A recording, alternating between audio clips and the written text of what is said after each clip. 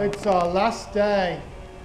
What's No. that? No more. We just had a, and finally, after Was um, it a cracking show, Matthew? after 21 days, we finally had a show where everyone stood up and clapped us at the end. That's, that's, that was special, wasn't it? It was special. Well, we made them wait and we made them do it for about five minutes before we realised. because we had to put on some dresses. Um, but they enjoyed the dresses. Enjoyed the Um, dresses. and so, without any further ado, I'd just like to do one more thing before the end of the show. And that, that is, um, would you like to help me with this? Yeah, sure, yeah. So,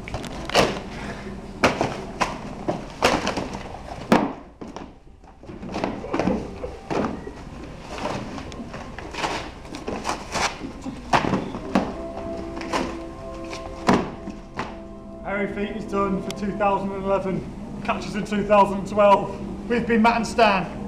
Stand Matt. Matt and Stan. See you later.